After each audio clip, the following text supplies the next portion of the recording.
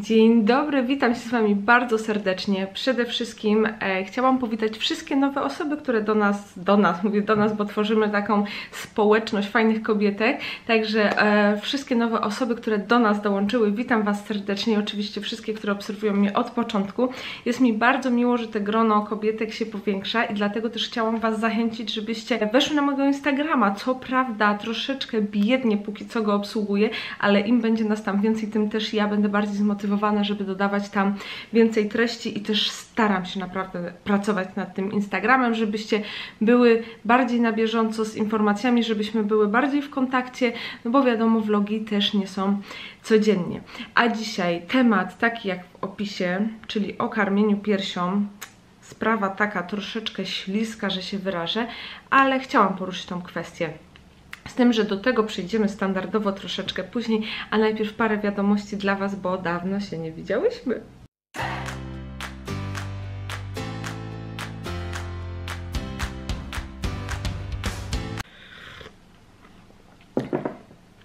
Przede wszystkim zachęcam do zrobienia kawki, bo dzisiejszy vlog pewnie troszeczkę potrwa i na pewno z kawą będzie się lepiej oglądało. Mówię troszeczkę ciszej, bo udało mi się uspać Mikołajka Pierwsza taka ważna rzecz, słuchajcie, to zaczęłam wdrażać rutyny z Maciusiem, jeżeli chodzi o Mikołajka. Wcześniej to wszystko było takie rozlazłe. Jak wyszło, tak wyszło, jak się najadł, jak już mu się oczy zamykały, jak chciał spać, to szedł spać.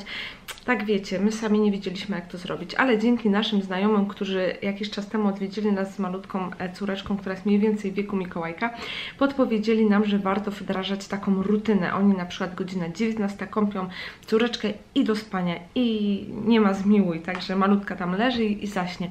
I postanowiliśmy też wdrażać taką rutynę, Okazuje się, że naprawdę w 90% nam to wychodzi, z czego jesteśmy bardzo dumni, bo coraz więcej czasu wieczorem po prostu mamy dla siebie.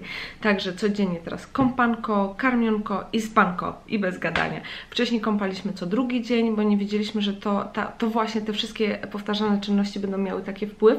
Także jeżeli jesteście świeżymi mamami albo zamierzę, albo będziecie nimi za niedługo, polecam Wam od początku wdrażać taką rutynę, żeby dzieciaczek właśnie już się przyzwyczajał i też, żebyście, co jest ważne, yy, pomogły mu ogarnąć, kiedy jest dzień i noc, bo taki malutki dzieciaczek to on nie, nie kuma bazy, kiedy jest dzień i noc, także trzeba, wiecie, go przystosować do tego, czyli jakiś dzień nie zasłaniajcie okien, po prostu, żeby wszędzie było jasno, żeby wszędzie mm, docierało to światło dzienne a kiedy jest noc, żeby było naprawdę ciemno, ja w nocy zapalam tylko tą lampeczkę misia, co Wam kiedyś pokazywałam i wszędzie jest ciemno, żeby tylko się nie rozbudzał. Także to tyle, jeżeli chodzi na razie o Mikołajka. E, oczywiście wiecie, że nadszedł czas na sprawozdanie z diety. Jako, że w weekend nie było vloga i podsumowania diety i odchudzania, to dzisiaj to zrobię i zważyłam się standardowo w sobotę i oto mój wynik. Kochane, przez tydzień 1,1, z czego się bardzo cieszę. W ogóle dostałam takiego powera i w tym e, czasie, jak wiecie, w sobotę przyjechali do nas znajomi. Później też mieliśmy do rodzinki. Już tak nawet mi się odechciało, żeby napić jakąś lampkę wina czy coś, bo nie, już taka zmotywowana, także wiecie, bardzo chciałam się trzymać.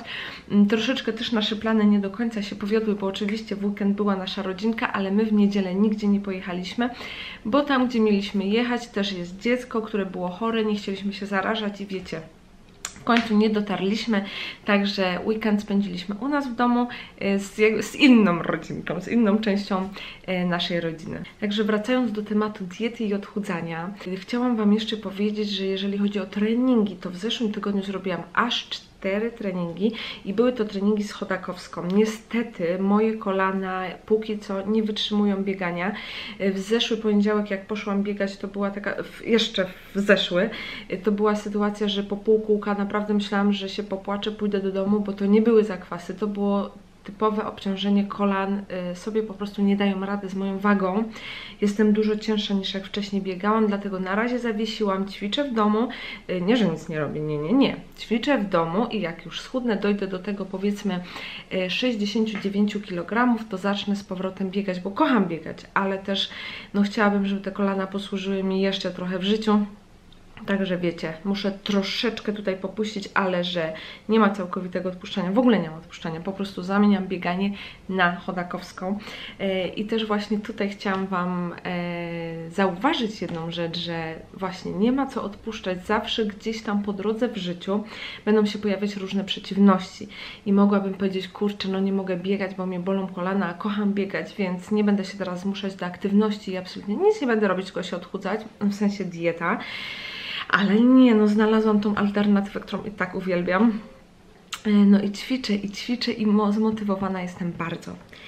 Także słuchajcie, tyle z domku, ja dopijam swoją kawkę, w końcu ciepłą piję kawę, także jest moc, bardzo się cieszę. Mikołajek wstanie i będziemy wybierać się na spacerek i pogadamy sobie o karmieniu piersią. Oczywiście klasyka, wyłączyłam kamerę i od razu mi się przypomniało, że mam Wam coś powiedzieć. I to takie ważne jest w sumie, słuchajcie, mam małą niespodziankę i dobre wieści, ale to Wam powiem na spacerku. Nie mogę się doczekać. I jeszcze jak Mikołajek śpi, to ja oczywiście e, jestem odpowiedzialna za przygotowanie drugiego śniadania. I dziś mamy mój ulubiony koktajl z mlekiem, z gruszką, z, bananem, z bananem, z otrębami z cynamonem. Oczywiście z diety B-Diet. E, I jeszcze odnośnie właśnie tej diety, słuchajcie, jest tak dobra. E, właśnie jak rodzinka u nas była w weekend, to nic tam nie nagrzeszyliśmy, kompletnie nic nie nagrzeszyliśmy jedzeniowo. E, I jakby żywiliśmy też naszą rodzinkę dietą chodakowskiej, czyli przygotowywaliśmy wszystkie posiłki zgodnie z dietą i byli zachwyceni. Naprawdę bardzo im posiłki smakowali, smakowały i byli zaskoczeni, że to jest dieta, tak, w cudzysłowie, że po prostu na diecie można tak dobrze jeść, bo e, w wielu przypadkach jeszcze wielu osobom dieta kojarzy się właśnie z nic nie jedzeniem albo byciem na samej sałacie.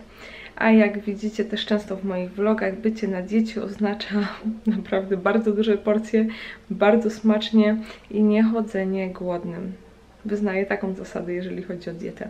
Także biorę się za przygotowanie tego koktajlu. To jest taka nasza codzienna rutyna. Wstaję rano, malowanko Mikołajek ze mną w łazience, to już też nieraz widziałyście, pomaga mi się malować, musi być obowiązkowo muzyka, on się wtedy dobrze bawi. E, po malowanku albo właśnie nagrywam vloga, albo pracuję, e, robię coś z obowiązków, e, a później przygotowuję drugie śniadanie i idziemy na spacer. Na spacery teraz chodzimy codziennie, bo walczę właśnie o tą rutynę dla Mikołajka, żeby wiedział, że idziemy na spacerek, na spacerku ma spać i jeszcze po spacerku ma spać półtora godziny, półtorej godziny, taki jest plan a z tym akurat bywa różnie. Także mam nadzieję, że dzisiaj jeszcze po spacerku pośpi.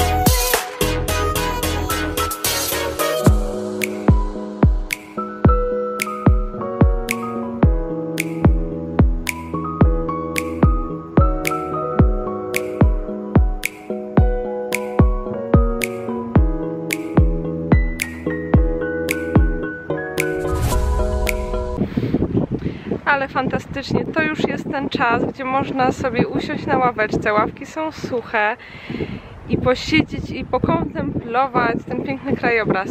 Już nie mogę się doczekać, kiedy przyjdę tu wiosnę, lato i będę mogła poczytać książkę, wezmę Mikołajka. E, także tak, nie wiem, czy też macie to poczucie tej wiosny, że nadchodzi, jakoś wszystko budzi się do życia i nastrój chyba każdej osoby też zmienia się diametralnie. U mnie to już w ogóle eksploduje pozytywne nastawienie, także już nie mogę doczekać się wiosny. A jak wiosna, to zaraz lato, jak lato, to zaczną się wszystkie imprezy w Ostrudzie, to w sumie na to zawsze najbardziej e, czekamy. Słuchajcie, no jesteśmy na tym spacerku i chciałam zacząć najpierw od rzeczy mm, takich najbardziej pozytywnych, czyli pierwsze takie ogłoszenie, w sumie jedyne ogłoszenie, które mam dla Was, to to, że dostałam się do programu, e, wezmę w nim udział i mogę zdradzić, że E, jest to program związany właśnie ze ślubami i sukniami ślubnymi. Wiele z Was próbowało zgadywać, żadna nie trafiła, ale byłyście bardzo blisko.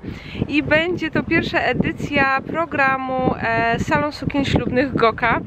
Także bardzo się cieszę, że się dostałam, miałam takie pozytywne przeczucia że nam się uda i nam się udało. E, no i 28 marca jedziemy na nagrania. 25 mam się sama stawić e, na przymiarki, na pomierzenie mnie. E, no i 28 nagrywamy z dziewczynami, czyli z moją mamą, z Kamilą i z Sylwią. Jeżeli jeszcze nie widziałyście tego vloga właśnie z castingu, to zapraszam Was serdecznie, podlinkuję Wam tutaj, żebyście sobie obejrzały, jak byłyśmy na castingu. I co jeszcze? I będzie to emitowane już wiosenną ramówkę na TVN Style albo TLC jeszcze się dowiem, także na pewno Wam dam znać. I oczywiście, jeżeli się uda, to postaramy się nagrywać. Może Sylwia znów niezawodnie nagra gdzieś tam ukradkiem coś, czego nie można, bo teraz troszeczkę też tak ukradkiem nie można było nagrywać na castingu, ale Sylwii się to udało. także jakieś tam scenki mamy. E, dobrze, kochane, no temat, który chciałam dzisiaj poruszyć to karmienie piersią. E, I pierwsza rzecz, wiecie, takie, z takiego pozytywnego nastawienia do troszeczkę ciemniejszej strony, e, bo jeżeli myślę o karmieniu piersią, to od razu pojawia mi się w głowie, wiecie, trudne sprawy, tak, od razu, ale już troszeczkę to przetrawiłam w sobie. Przepraszam, mam nadzieję, że nie za mocno wieje i że mnie słyszycie, przybliżę troszeczkę. E, tak, jeżeli chodzi o karmienie piersią, to są trudne sprawy, e, ale już przetrawiłam to w miarę. Można powiedzieć, że jestem w 90% z tym pogodzona. Jak Maciuś zawsze do mnie mówi, czym się przyjmujesz, przecież to nie twoja wina, e, przecież nasz synek jest zdrowy i to jest najważniejsze i owszem ma rację, jednak gdzieś tam takie poczucie, że no powinnam karmić piersią. Yy, chyba sama sobie narzuciłam, tak? Bo od początku, jak wiecie i śledzicie mój kanał od początku, to bardzo chciałam karmić piersią. Nastawiałam się na to, przygotowywałam. Yy, no i niestety nie udało się. I tutaj głównie chciałam takie przesłanie i może radę dla przyszłych mam, które są w ciąży, bo wiem, że oglądacie mój kanał i czekacie na rozwiązanie.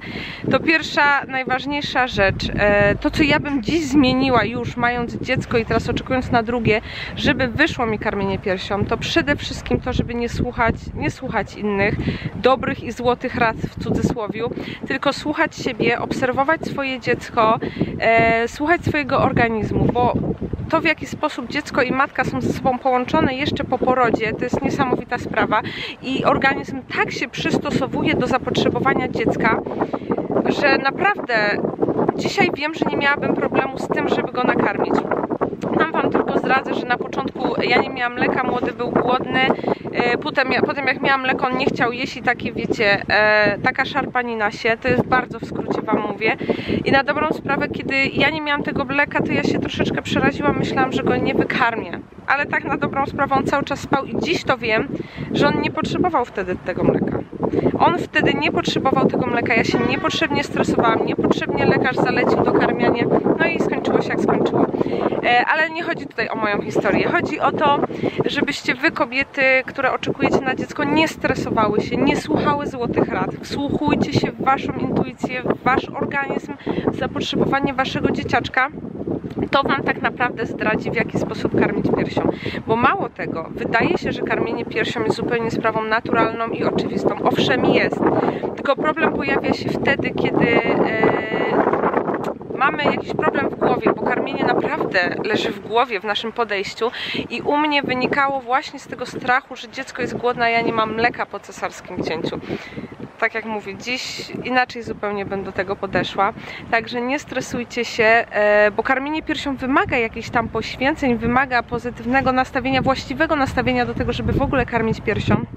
Także kobiety, które chcecie karmić, nastawcie się, podejdźcie do tego naprawdę na luzie, bo jeżeli chcecie karmić, to będziecie. Ja chciałam i tak jak mówię, dziś przy drugim dziecku wyglądałoby to zupełnie inaczej i wiem, żebym wykarmiła tego maluszka, ale człowiek uczy się na błędach, na jakichś tam doświadczeniach. Pierwszy raz jestem mamą, pierwszy raz e, urodziłam dziecko i pierwszy raz miałam mm, zderzenie z taką sytuacją, która może trochę mnie przerosła. Trochę tam zawalili w szpitalu i wyszło jak wyszło. E, ale pamiętajcie kobiety, że pomimo tego, że karmienie piersią jest trudną sprawą, to jest zupełnie naturalną sprawą. I jeżeli naprawdę podejdziecie do tego na luzie, bez stresu i będziecie słuchać przede wszystkim siebie, siebie, swojego organizmu, potrzeb dziecka, to myślę, że uda Wam się wykarmić swoje dziecko. Ja może, tak jak mówię, już się troszeczkę pogodziłam i jest chociaż właśnie ten plus, że mogę nagrać ten film i powiedzieć o tym, może dać jakąś radę. E, właśnie pomyślicie, że no to jest ta złota rada, której nie należy słuchać. Ja to mówię z perspektywy mamy, która coś tam doświadczyła właśnie e, negatywnego i nie wyszło tak jak chciałam. I mówię Wam o tym, co bym mogła zmienić, żeby mi wyszło. Ale jest już troszeczkę za późno. Już teraz z mleka modyfikowanego na pierś po trzech miesiącach trudno się przestawić. Młode nawet nie chce na, patrzeć na pierś, także tutaj nie ma już o czym mówić. Ale najważniejsze, że jest zdrowa. Także dziewczyny, nastawcie się pozytywnie i też bez presji, bo ja chyba sobie też narzuciłam za dużą presję, że muszę, muszę, muszę. Nie podeszłam do tego lajtowo, zestresowałam się i tyle z tego wyszło. Słuchajcie siebie i swoich organizmów. Musieliśmy zacząć się przemieszczać, bo e, Mikołajek się pobudził, także trzeba było się ruszyć. E, wracając do tematu, Jedna taka rzecz jeszcze mi się rzuciła w oczy, że często w Polsce niestety dochodzi do sytuacji, gdzie szczególnie w internecie gdzieś tam piętnowane są kobiety za karmienie mlekiem modyfikowanym, bo mówi się, że poszły na łatwiznę. I niestety najczęściej mówią to mamy, którym z łatwością przyszło karmienie piersią, bo oczywiście są takiego kobiety, którym wszystko e, naturalnie wychodzi, jeżeli chodzi o karmienie piersią, nie miały żadnych problemów. I fantastycznie gratulacje i pewnie każda mama zazdrości też tak by chciała jednak nie zawsze jest to możliwe. I w takiej sytuacji może się okazać, że właśnie e, kobieta, która podjęła próbę walki heroiczną, e, żeby właśnie wykarmić swoje dziecko, nie ma możliwości karmienia. I gdzieś tam spotyka się powiedzmy z jakimś e, hejtem albo z krytyką, że jej się nie chciało, bo oczywiście są plusy, że się nie karmi. Pół żartem, pół serio, chociaż to, że można się napić drinka, czy zostawić dziecko z tatą i gdzieś tam pójść chociażby do kosmetyczki. Owszem, to jest plus, ale niezaprzeczalnie plusy karmienia piersią są zdecydowanie większe i podejrzewam, że każda świadoma, racjonalna mama chce dla swojego dziecka jak najlepiej i chciałaby karmić piersią. A, bateria mi padła, także musiałam wymienić. Słuchajcie, także każda świadoma, racjonalna mama naprawdę chce karmić piersią i podejmuje walkę heroiczną właśnie po to, żeby móc karmić swojego dzieciaczka. Także też apel do pań, którym się naprawdę udało bez problemu. Gratuluję Wam, ale nie oceniajcie innych kobiet, dlatego że karmią mlekiem modyfikowanym, bo w 99% przypadków nie jest to wybór, a jest to podyktowane gdzieś tam naprawdę ciężką, heroiczną walką o to, co niestety mogło nie wyjść. I myślę, że to tyle, jeżeli chodzi o temat karmienia piersią. I podsumowując, panie, które spodziewają się dzieci na luzie, nie poddawajcie się i nie słuchajcie złotych rad w szpitalu, nie słuchajcie złotych rad otoczenia, po prostu słuchajcie swojego organizmu. A jeżeli Wam nie wyjdzie, tak jak mi nie wyszło, to tak pół żartem, pół serio są plusy, czyli możecie wyjść samodzielnie bez dzieciaczka z domu, możecie napić się drinka na imprezie. Ech najważniejsze, żeby dzieciaczek był zdrowy. Słuchajcie, moje drogie, to tyle. My troszeczkę zwiększymy tempo, bo Mikołajek już takim powolnym tempem nie jest usatysfakcjonowany. Także troszeczkę przyspieszymy, pochodzimy jeszcze trochę i będziemy wracać do domku na obiadek, potem trening z chodakowską, no i wieczorki, jak zwykle zmagania o to, żeby Mikołajek po naszej codziennej rutynie poszedł standardowo spać. Dziękuję Wam za to, że obejrzałyście ten film, że poświęciłyście swój czas. Jeszcze raz zapraszam Was na swojego Instagrama Justamaszka. Zapraszam Was do subskrybowania kanału, łapki w górę i trzymam za Was wszystkie kciuki. Buziaki i do zobaczenia. Cześć!